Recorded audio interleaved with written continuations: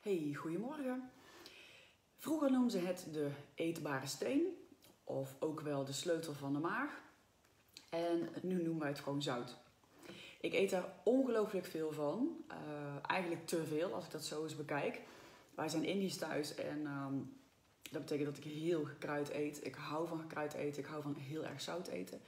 Dat betekent ook dat ik uh, vocht vasthoud door het zout te eten. Ik merk dat als ik s'avonds mijn sokken uittrek, het randje van de sokken um, ja, in mijn enkels uh, staat. En dat is wel een van de tekenen dat, uh, dat ik te veel zout eet. Zout heeft je lichaam nodig om te kunnen overleven. Zonder zout overleef je niet. En die heeft hij nodig om de vochthuishouding um, ja, te kunnen reguleren.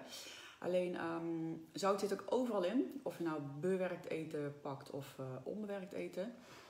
Vroeger in de oertijd aten we vlees en er zat al het zout in. En toen zijn wij, of is de mens, groentes gaan eten. En um, daar hebben ze zout aan toe moeten voegen.